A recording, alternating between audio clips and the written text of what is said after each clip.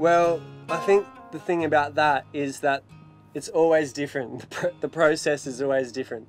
Sometimes the process happens in 20 minutes, sometimes the process happens in three years.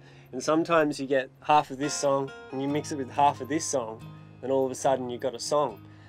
Uh, for me, though, as well, to sort of finish a song, I feel like being emotionally involved. If you're just writing a song for whatever, it's hard to sort of finish it because you don't care about it. You don't care about what you're singing about. But when you do care about it, it's a lot easier to finish the song because you've got more passion. You, you're believing in um, what you're saying. They're not empty words. That's that's why I love Bob Dylan.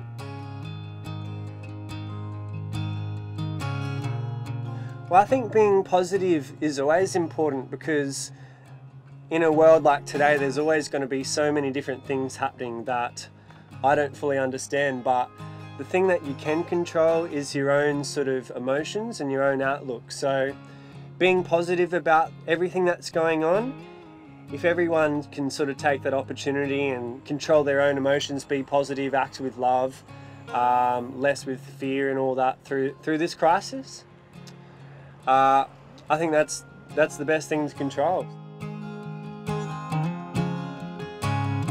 Well, I've been very fortunate because I have followed my dreams most of my life, um, except when I used to whippersnip um, for the council. But I got into a little bit of a verbal argument, and that was the great incentive for me to stop whippersnipping and doing what I love, which means getting out of bed and being excited for it or, or being keen. Because if you weren't doing what you love, life would be more boring and you know we're only around for 80 90 years i don't know something like that. So uh, it's definitely worth just doing what you love.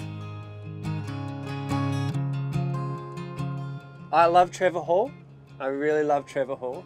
I like just a lot of different songs from a, diff, uh, a lot of different artists. They don't have to be big they, they, a lot of time they're small artists. It's just people and often it's just one song and you hear that and you go oh that's amazing uh, but Trevor Hall's been my go-to. Yeah. I've heard that you guys have had uh, Casey Barnes and Jacob Lee, so I'm going to say those two guys.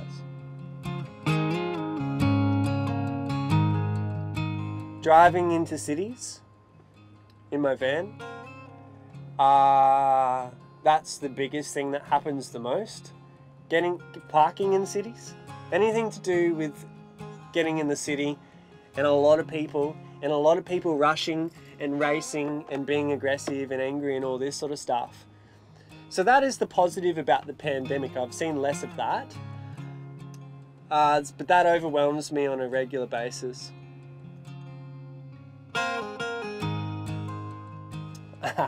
well, let's just say a beer.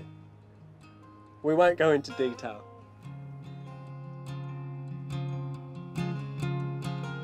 Other musicians, people, uh, conversations with people who are on your wavelength, who have a great conversation with you, because often having a good conversation with someone sparks an idea in your head where you go, huh, I'm going to write about that.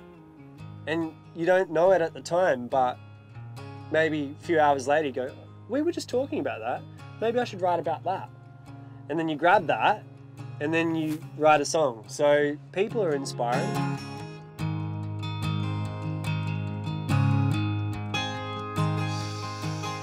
Hmm. There's probably a lot of things. Uh, can I think about this for a quick minute? Hmm. Uh, I'm exceptionally bad at thinking of answers for this question.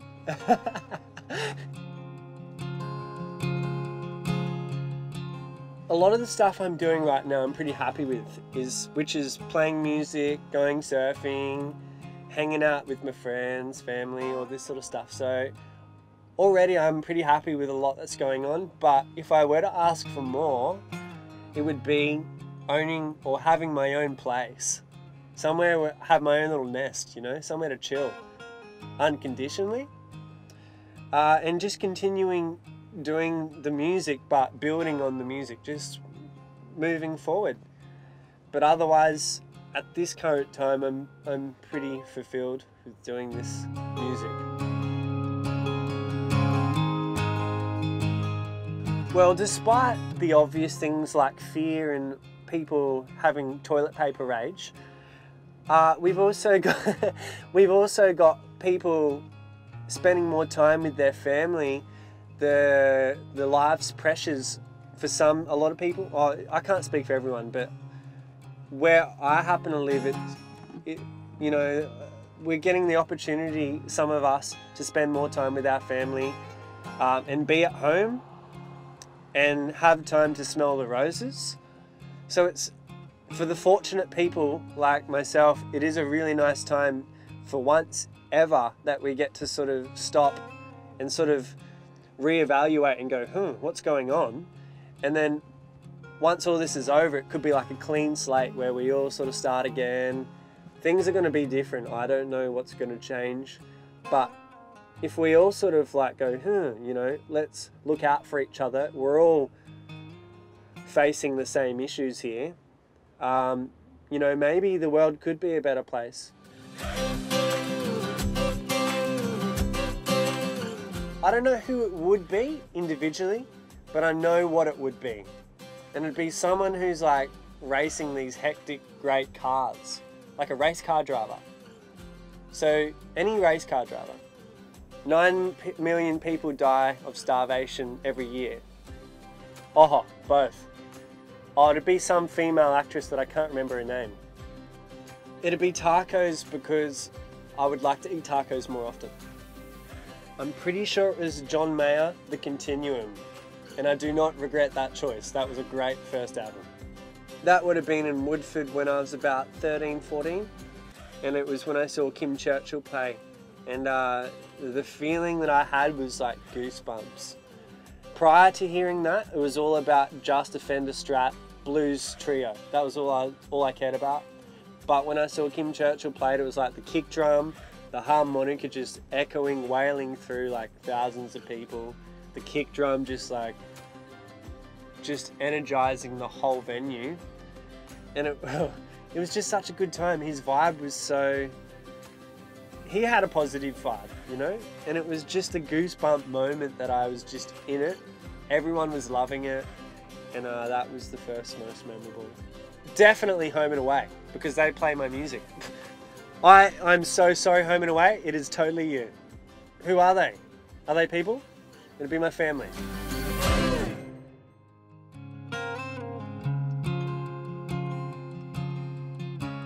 So this is a song I wrote about uh, the concept of believing in whatever you choose to believe in because I think the more uh, you focus on what you believe, the more it'll happen. So it's about putting your creative energy into whatever department you want to. The more you put into that department, the more you'll get back.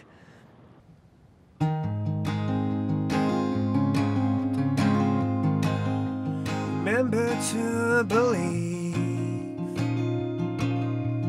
Doubts are fatal and your mind is in control. The captain of your ship, master of your fate. So, what do you believe?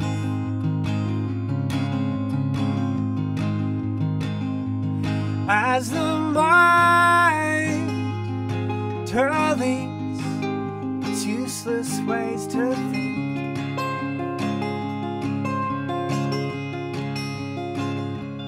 We'll be rising far beyond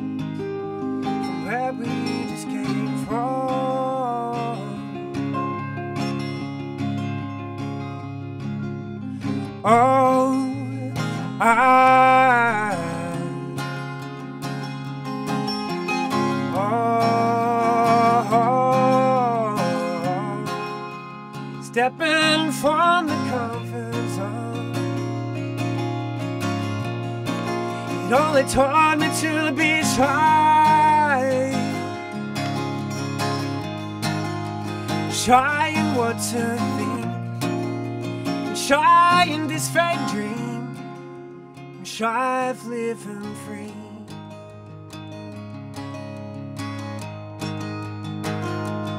as the mind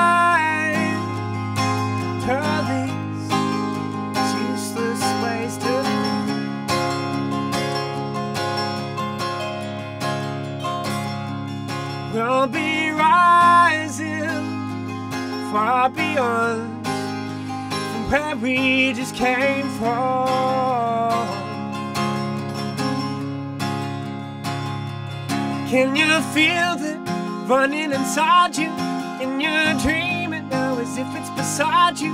You will taste it if you can be patient. The more you believe, the more you create. We'll be rising in your horizon, place of freedom defined by your reason. Taking the power, it's yours to claim. The more you believe, the more you create. as the mind leads its useless ways to think.